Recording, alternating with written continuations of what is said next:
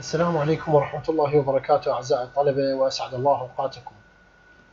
آه، تناولنا في المحاضرتين السابقتين كل ما يتعلق بمطيافية الأشعة فوق البنفسجية والمرئية UV visible من تعاريف ومبادئ ومصطلحات مهمة مرورا بأهم العوامل المؤثرة على الامتصاص الجزيئي وأهم الانتقالات الجزيئية.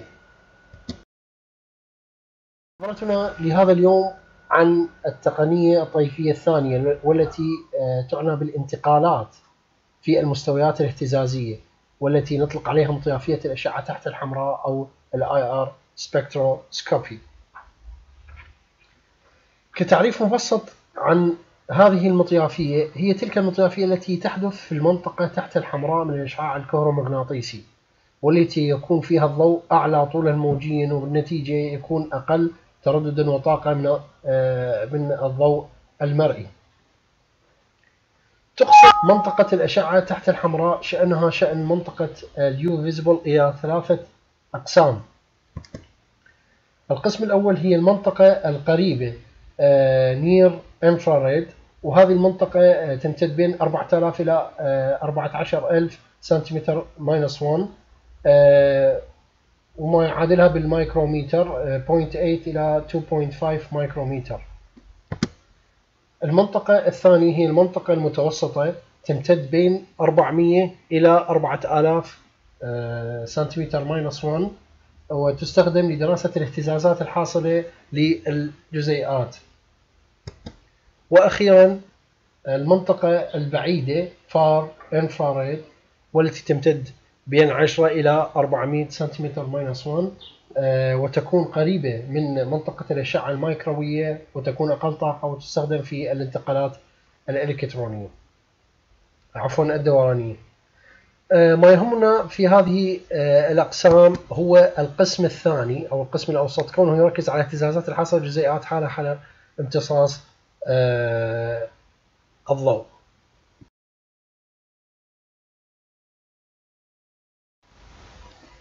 ولغرض عمل مراجعة بسيطة للامتصاص عند الأشعة فوق البنفسجية المرئية وفي نفس الوقت مقارنة مع ما يحدث في الامتصاص في الأشعة ما تحت الحمراء. فاللي يحدث في امتصاص الأشعة فوق البنفسجية المرئية تحدث إثارة للإلكترونات من مستوى أرضي مستقر ground state إلى مستوى مثار. Excited state عالي الطاقة غير مستقر ومن ثم تعود هذه الإلكترونات إلى حالتها المستقرة باعثة الضوء بشدة تساوي h ميو يساوي الفرق بين المستويين آه، الإلكترونيين. أما فيما يخص مطيافية ال IR فإنه يحدث انتقال لكن هذا الانتقال يحدث بين المستويات الاهتزازية والتي تكون طاقتها أقل من الإلكترونية. بالتالي فإن الجزيئة المتعرضة لهذا الضوء سوف تبدأ بالاهتزاز وبأشكال سوف يتم التكلم عنها في الدقائق القادمة. إذا آه، تقنية ال IR ممكن أن تقيس الترددات الاهتزازية الجزيئية وهذا مفيد جدا في تشخيص المجاميع الفعالة في الجزيئات. ذكرنا الاهتزازات الجزيئية فلا بد أولا معرفة ماذا نعني بالاهتزاز في جزيئة ما. الاهتزاز هو أي تغير في شكل الجزيئة نتيجة لتعرضها للأشعة الضوئية. وهذا التغير ممكن أن يتخذ أشكال عديدة. آه، مثلا ممكن يكون stretching ممكن يكون bending. نجي نتطرق إلى كل واحد منهم. فيما يخص الستريتشنج vibration آه، هذا هو آه، يسميه الاهتزاز المطي والذي يسبب زيادة في طول الآصرة وهذا نرى في الترددات العالية اللي تقع بين 1250 إلى 4000 سنتيمتر minus 1 طبعا هذا النوع من الاهتزازات يقسم إلى نوعين. نوع نسميه symmetric متماثل أي أن آه، حركة آه، الذرات تكون متماثلة بنفس الاتجاه و asymmetric غير متماثل آه، تكون الحركة بشكل متعاكس كما تلاحظون في الشكل التالي. النوع الثاني من الاهتزازات يسمى بال bending vibration أو الثني أو الطوي. هذا الاهتزاز يحدث تغيرا في زاوية الآصرة بين الذرات في الجزيئة الواحدة ويحدث هذا الامتصاص عند الترددات الواطئة بين 666 آه، إلى 1400 سنتيمتر minus 1 وعلى غرار ال stretching فإن أيضا ال bending له عدة أشكال.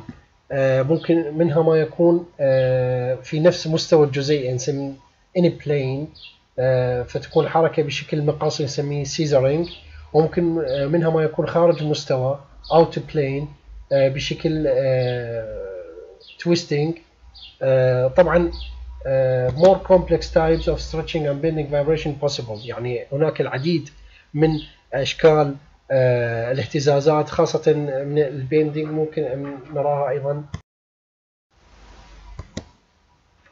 هذا الشكل يبين كل الاهتزازات الممكن حدوثها في جزيئة. فنلاحظ النوع الأول. والثاني هو ال symmetric and asymmetric stretching في حين بقية الأشكال الأربعة تكون bending scissoring بشكل حركة حركة بشكل مقاصر rocking تدحرج بشكل تدحرج. الواجينج يكون يعني شكل حركة جناح الطيارة twisting حركة ملتوية وسواء كانت الجزيئة تهتز بشكل مطي أو بشكل ثني فإن طرفي الآصرة الرابطة بين ذرتين لا بد أن يكون بينهما نوع من التآثر. هذا التآثر يسمى بال dipole moment أو عزم ثنائي القطب. وعزم ثنائي القطب يمكن تعريفه يمكن أن يحدث إذا كان طرفي الآصرة مختلفين في قيمة الكهروسالبية وال electronegativity أو مختلفين بالشحنة. وبالتالي كلما كان التغير في الشحنة في ال electronegativity بين طرفي الآصرة كبيرا كلما كانت ال dipole moment عالية.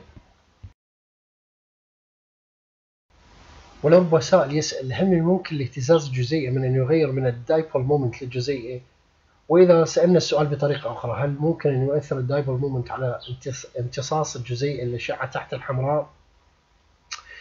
الإجابة هي أن الاهتزازات الفعالة نتيجة لامتصاص الجزيئة لأشعة ال IR يجب أن ينتج عنها تغير في قيمة ال dipole moment فنلاحظ أن الاهتزازات المطية آه الغير متماثلة تكون فعالة تجاه ال IR لذلك تظهر امتصاص في ال IR chart في حين الاهتزازات المطية المتماثلة تكون غير فعالة.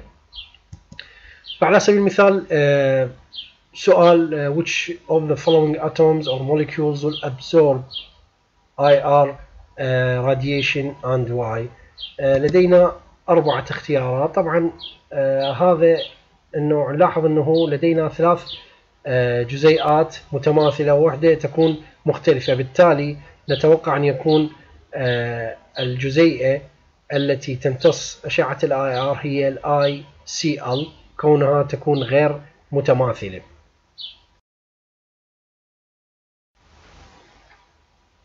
إذا لاحظنا أي chart في ال IR كمركب في مركب معين سوف نلاحظ الكم الهائل من القمم فيه. وهذا في بادئ الأمر قد يجعل القارئ أو الباحث يشعر بخيبة أمل أو بعض الإحباط.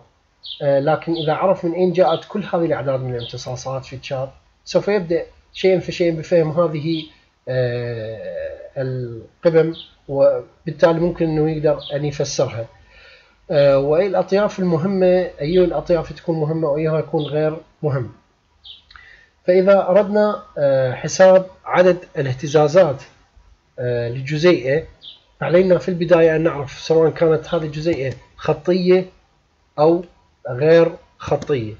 فإذا كانت الجزيئة خطية تركيبها أو structure يكون بشكل خطية فإن عدد يجب أن نحسب طبعا number of atoms n. وبالتالي نحسب عدد ال vibration modes فنطبق هذا القانون 3n minus 5 الn هي عدد ذرات الجزيئة اللي موجودة. مثلا لدينا جزيئة H2O H2O كم ذرة؟ بها ذرتين هيدروجين وذرة أكسجين. إذا n قيمة m هي 3 آه وهكذا. إذا كانت الجزيئة غير خطية فبهذه الحالة آه حساب عدد ال vibrational modes هنا ممكن يكون بالقانون 3n 6 عندنا مثال ال H2O جزيئة الماء. جزيئة الماء مثل ما تعرفون ال structure مو خطي non linear يكون بشكل زاوية. بالتالي هي جزيئة غير خطية فينطبق عليها القانون اللي هو 3n 6 فلما نعوض عن قيمة n ب 3 لأنه H2O عندنا ثلاث ذرات فيكون عندنا 3 في 3 ناقص 6 ويساوي 3 إذا نتوقع يتوجد عندنا ثلاثة أنواع من ال vibrations modes مثل ما تلاحظون في هذا الشكل. شكل يكون symmetric وآخر bending وآخر يكون asymmetric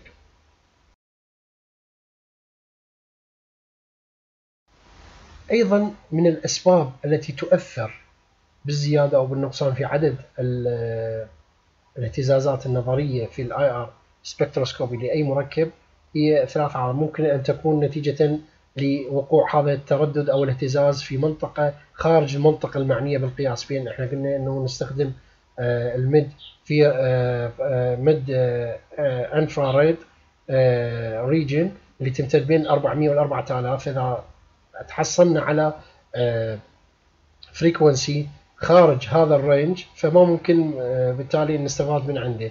ممكن أيضا يكون عندنا نقص أو آه، في ال dipole moment خلال ال vibration هذا أيضا راح يأثر على الاهتزازات اللي راح تحدث في الجزيئة.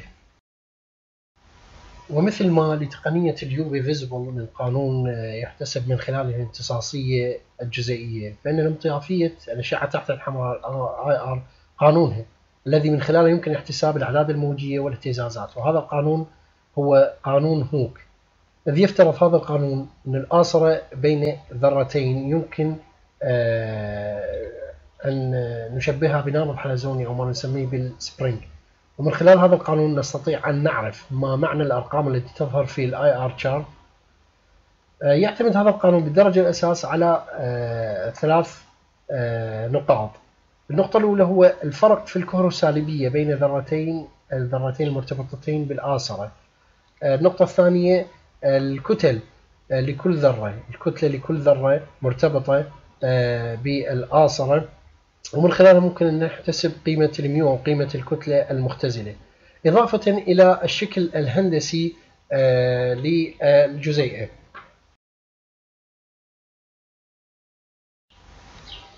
مثال بسيط لتوضيح أهمية قانون هوك آه، عن حساب التردد الاهتزازي طبعا بوحدات السنتيمتر minus 1 آه، للآصرة CH. ذلك بإعطاء المعلومات التالية حيث كما تلاحظون يعطينا آه، ال force constant قيمة ال K يعطينا قيمة C اللي هي سرعة الضوء أيضا ممكن ينطينا الكتل. كتلة الهيدروجين وكتلة الكربون بمجرد تطبيق القانون. عملية رياضية نلاحظ قيمة الامتصاص لجزيئة ال CH هي 3100 وهذا القيمة آه، ممكن أن نجدها غالبا إن لم يكن كل جداول الخاصة بمطيافية ال IR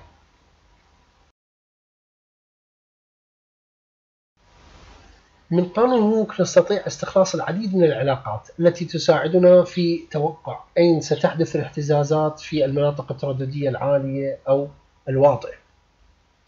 فنلاحظ مثلا آه، قوة الآصرة المتمثلة في قيمة K فإنها تتناسب تناسبا آه، طرديا مع التردد الاهتزازي قيمة ميو داش. آه، وبما أن الآصرة تصبح أقوى معناته أنه كلما قصرت الآصرة كلما كانت أقوى. فنلاحظ أنه الأواصر المزدوجة تعطي امتصاص أعلى من الأواصر المنفردة. فعلى سبيل المثال C double bond C تكون آه، تعطي امتصاص أعلى من C bond C نفس الشيء بالنسبة ل C double bond O يعطي امتصاصية أعلى من C bond O والسبب في ذلك إنه قوة الآصرة في C double bond O أو C double bond C تكون أقوى من نظيراتها ذات الآصرة الواحدة. كلما قصرت الآصرة كلما ازدادت قوتها بالتالي تحتاج إلى طاقة عالية واهتزاز عالي لغرض الاهتزاز طاقة عالية لغرض الاهتزاز. فتكون الأواصر المزدوجة قصيرة بالتالي تحتاج إلى طاقة عالية. الكتلة المختزلة أيضا لكلتا الذرتين تلعب دور مهم في التباين في طاقة اهتزازها فكلما كان الفرق بين كتلتي الذرتين عالي كلما كانت طاقتها الاهتزازية أعلى. وعليه فإنه الآصرة بين ال C وال H تكون أعلى من الآصرة بين ال C وال C. الآصرة بين ال OH تكون أعلى من الآصرة بين ال C وال O وبنفس الفكرة يحدث عندما يكون لدينا آصرة OH وآصرة ODD ديتيريوم طبعا نظير الهيدروجين.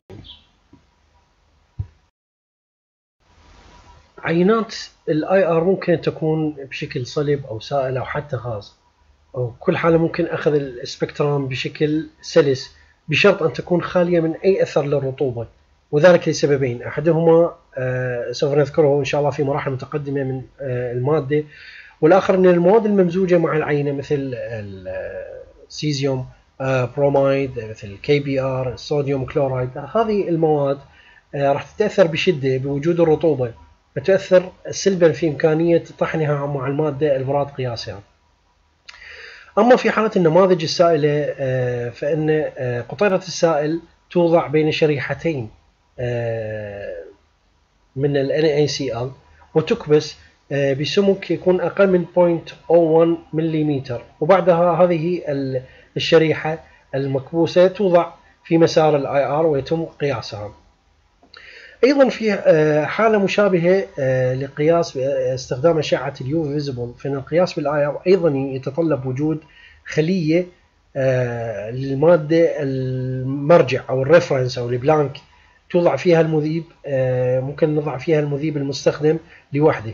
وبطبيعة الحال فان المذيب المستخدم أيضا خصائص سوف نذكرها بعد قليل. للمذيبات المستخدمة في تقنية ال IR خصائص منها أو ممكن يكون أولا pure طبعا هذه الخصائص طبعا آه، لازم تتوفر في كل التقنيات. المذيب النقي يكون أفضل آه، لاستخدامه ك reference حتى نحاول أنه نتجنب أي تداخل ممكن أن يحدث. آه، أيضا ممكن أن يكون طيف هذا ال solvent غير موجود من ضمن ال range اللي إحنا نشتغل به أو يكون بعيد تمام البعد عن طيف المادة اللي أريد اقيسها ما يتداخل معها. أيضا ممكن يكون هذا ال solvent آه، جاف آه، مو رطب وممكن أن يكون transparent يعني ممكن شفاف ممكن آه، بسهولة ينفذ الضوء من خلاله. لا توجد فيه particles تؤدي إلى انكسار الضوء وهذا الانكسار مثل ما ذكرنا سابقا ممكن أن يؤثر على قراءة الممتصية أو الاهتزاز. أنواع المذيبات المستخدمة آه، المذيبات المستخدمة في IR آه، كثير لكن أهمها هو ال carbon tetrachloride وهذا يستخدم آه، لأنه لا يظهر امتصاصات في المناطق اللي تكون أعلى من 1333 سنتيمتر minus 1 أيضا عندنا ال carbon disulfide هذا يظهر امتصاصات قليلة بعد أيضا قبل ال 1333 لأنه يجب الانتباه إلى طبيعة المادة اللي نذوبها بهذان المذيبان. فلاحظ مثلا أنه ال CS 2 ما ممكن نستخدمه ك solvent إذا أردنا أنه نقدر أو نقيس ال primary أو ال secondary amine. والسبب في ذلك أنه CS 2 ممكن يتفاعل مع ال primary أو ال secondary amine فينطينا مركبات أخرى. أيضا CS 2 وال CCl 4 أيضا ممكن أنه يتفاعل آه، تفاعل بطيء مع الامينو آه، الكحول أو مركبات الكحولات الأمينية بالتالي أيضا ما راح راح يأثر لي على القراءة اللي ممكن أحصلها. آه، الكلوروفورم أيضا له ميزة جيدة إنه يظهر امتصاص في كل الأطوال الموجية إلا أنه يستخدم آه، بنسبة أقل. تحضير النماذج الصلبة يتم بعدة طرق. نذكر منها طريقتين اثنين فقط. الطريقة الأولى طريقة العجينة وطريقة ال mull آه، تتضمن طحن ما يقارب 2 إلى 5 ملغ من المادة الصلبة مع قطيرة واحدة من ال Nujol. وطبعا هذا هو آه، زيت هيدروكربوني. يشترط أن يكون أبعاد الجزيئات أقل من 2 مايكرومتر حتى نتجنب ال scattering اللي يحدث نتيجة مرور الضوء. بعدها توضع هذه العجينة بين شريحتين أو صفيحة صفيحتين من ال NaCl ثم توضع أمام شعاع ال IR في المكان المخصص له. الطريقة الثانية هي طريقة ال alkali halide pellet وهذه هي الطريقة اللي معتمدة عندنا في مختبراتنا آه، واللي إن ما أتمنى أنه تسنح الفرصة ممكن أنه أستاذ علي رسول في المادة العملية راح يشوفكم إياها بشكل فيديو. آه، تتكون أخذ واحد إلى اثنين ملغرام من المادة اللي أريد أقيسها وأطحنها مع 100 ملغرام من ال KBr بعد ذلك آه، يسلط عليها آه، ضغط آه، تكبس بضغط بين 10 إلى 15 باسكال per inch pascal per square inch PSI. نحصل على قرص شفاف. هذا القرص الشفاف يوضع في مكان القياس وتتم عملية القياس وأخذ الطيف ومثل ما للأشعة ما فوق البنفسجية والمرئية ال UV visible عوامل تؤثر على امتصاصها فللأشعة تحت الحمراء أيضا عوامل مؤثرة. وهذه العوامل كما يظهر أمامكم هي أربعة عوامل. تبدأ بتأثير الحث والرنين ثم تأثير التبادل مرورا بحجم حلقة المركب انتهاء بتأثير التآصر الهيدروجيني. فيما يخص تأثير الحث والرنين وهنا يظهر بصورة واضحة عندما تحوي جزيء ماء آه، على مزدوج إلكتروني كان يكون آه، نيتروجين أو أكسجين. أي أقصد أنه يحوي المركب على ذرة تحوي على مزدوج إلكتروني كنيتروجين أو أكسجين. فوجود مثل هذه الذرات اللي نسميها بال hetero atom آه، ممكن يؤثر في قيمة امتصاص ال C double bond O نتيجة لتأثير يسمى بتأثير ال inductive and resonance effect هذا النوع من التأثيرات راح نشوفه على عدة آه، مركبات. نبدي بال esters. مثلا في جزيئات الإيستر نلاحظ أنه ذرة الأكسجين المرتبطة بمجموعة الكربونيل تميل لسحب الإلكترونات منه وبالتالي فإن قوة الآصرة C double bond O ستزداد وبحسب العلاقة الطردية مع التردد حسب قانون هوك اللي أخذناه قبل قليل يزداد التردد فتظهر قيمة C double bond O عند آه، آه، بين 1720 إلى 1750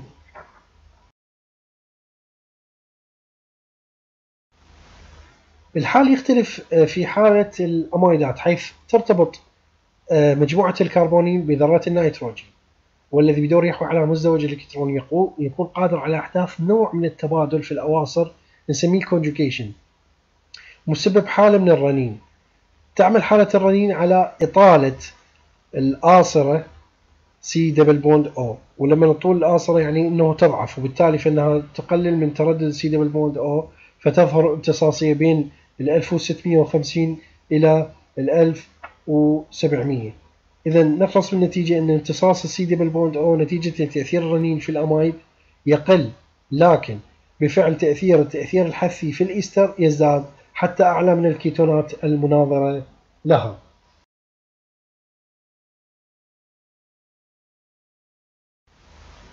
أيضا هذا التأثير يظهر واضحا في ال acid chloride حيث أن ذرة الهالوجين المرتبطة بمجموعة الكربونيل هالوجين أقصد chloride bromide iodide ستعمل على زيادة ترددها بقيمة حتى أعلى من قيمة C double bond O اللي موجودة في الإسترات في حين آه، في حالة آه، ال anhydride سوف نحصل على آه، قمتين في ال chart لل C double bond. أحدهما تكون ل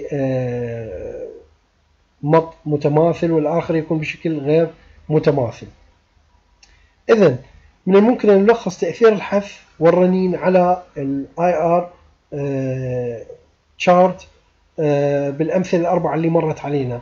وأقصد الإيستر والأمايد والاستكلورايد والاستانهيدرايد فبالتالي لما يجي سؤال مثلا ما هو تأثير الحث والرنين آه، على امتصاص آه، الكربونيل مثلا فمن الممكن إنه نتكلم عن تأثيرها في الأمايدات في الإيسترات في ال acid chloride وال acid anhydride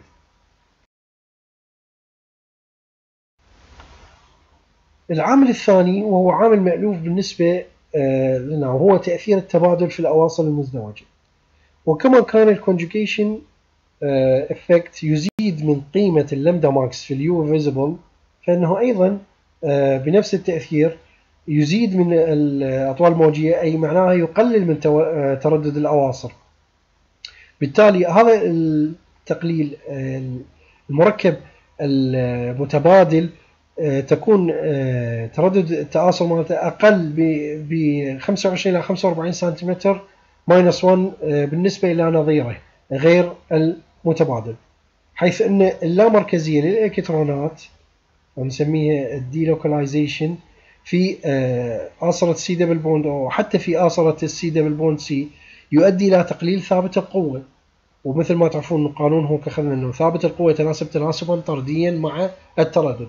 فإذا زاد زاد التردد وإذا قل قل التردد. وبالتالي فإنه كلما ازداد تأثير التبادل كلما قلت قيمة تردد الامتصاص.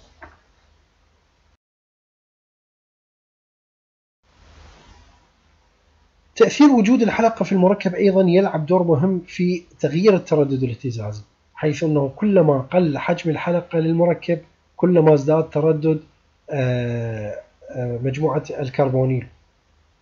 حيث أن صغر الحلقة يعطي قوة للآصرة وبالتالي زيادة في قيمة التردد وحسب قانون هوك نلاحظ في الشكل الأسفل أنه آه، قيم الامتصاص متباينة بالنسبة لمجاميع الكربونيل الكيتونات الحلقية والاسترات الحلقية حيث نلاحظ أنه قيمة الترددات تزداد بنقصان حجم الحلقة بحيث يكون الكيتون الثلاثي الحلقي أعلى ترددا من الكيتون السداسي.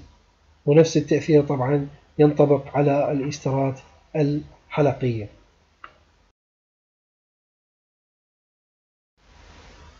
العامل المؤثر الأخير هو التآصر الهيدروجيني.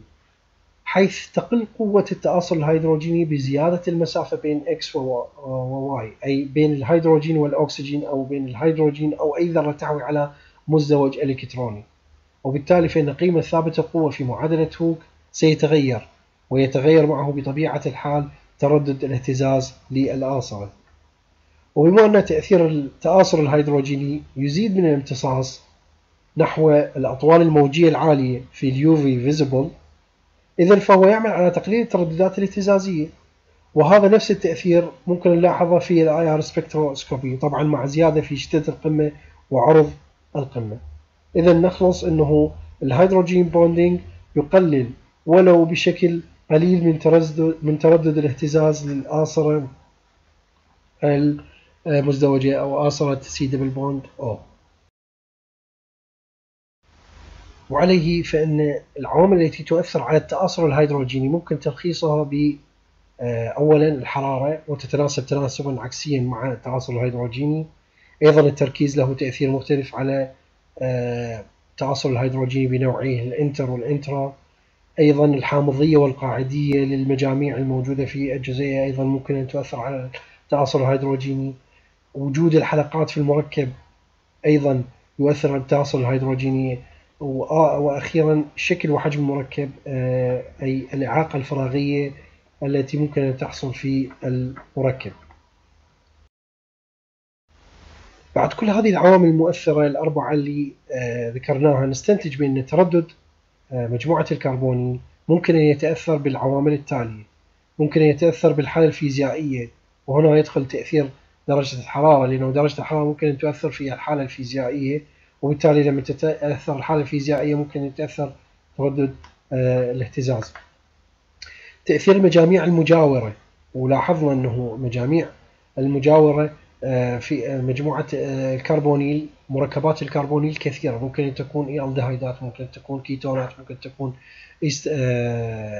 حوامض كربوكسيلية ممكن تكون anhydride ممكن تكون amide. كل هذه المركبات تحوي على مجموعة الكربونيل إلا أنها تكون مجاورة لها مجاميع أخرى. هذه المجاميع تؤثر على قيمة الامتصاص. الحامضية والقاعدية أيضا ممكن أن تؤثر حجم الحلقة تأثير التبادل أيضا لاحظنا أنه ممكن أنه ال conjugation system ممكن يؤثر من قيمة التردد ممكن أن يقلل إياه بنسبة خمسة بعدد 45 إلى 25 إلى 45 سنتيمتر minus 1 ال hydrogen bonding اللي هو التآصر الهيدروجيني والاندكتيف افكت مثال أخير آه، حتى نقدر نفهم آه، ونقدر نربط بين هذه العوامل آه، مجتمعة وشلون نقدر نفسر الأطياف اللي ممكن تجينا. إذا أعطيه مركب كيتوني وآخر أسيد كلورايد مثلا وطلب أنه سبب التغيير في قيمة الامتصاصية حيث يكون مثلا هنا في هذا المركب اللي أمامنا في الكيتون الامتصاصية 1720 آه، في حين ال acid chloride تكون الامتصاصية بين 1750 إلى 1820 فما هو السبب؟ منه ممكن نستخلص كل العوامل اللي مرت علينا آه، واللي تأثر على آه، امتصاصية مجاميع الكربونيل. فبالمقارنة مع المركبين ممكن نلخص إنه نشوف إنه النقاط التالية إن الاختلاف في الكتلة. المركب الكيتوني يحوي على مجموعة CH3 في حين ال acid chloride يحوي على مجموعتي كلورايد. وهذا الاختلاف في الكتلة آه، هو معناته اختلاف في تأثير الحث وممكن إنه اختلاف آه، ما عندنا resonance هنا ممكن إنه اختلاف في آه، تأثير الحث هنا أيضا ممكن إنه الإعاقة الفراغية حجم ال C L 3 يكون أكبر مثلا من حجم ال C L هنا قوة الآصرة بين ال C L وبين قوة الآصرة بين ال C double bond O لأنه مجموعة هنا ذرة ال C L هي مجموعة ساحبة ممكن أن تسحب الإلكترونات وبالتالي الآصر راح يتغير تتغير قوته ولم تتغير قوته راح يتغير التردد. أيضا التغير في الزوايا وال steric effect اللي نسميه آه، نتيجة لكبر أو حجم المركب حقيقة هذا كل ما يتعلق بمحاضرتنا لهذا الأسبوع. نتمنى أن تكونوا استفاديتوا من هذه المعلومات. آه، أتمنى لكم كل التوفيق آه، في مشواركم. والسلام عليكم ورحمة الله وبركاته.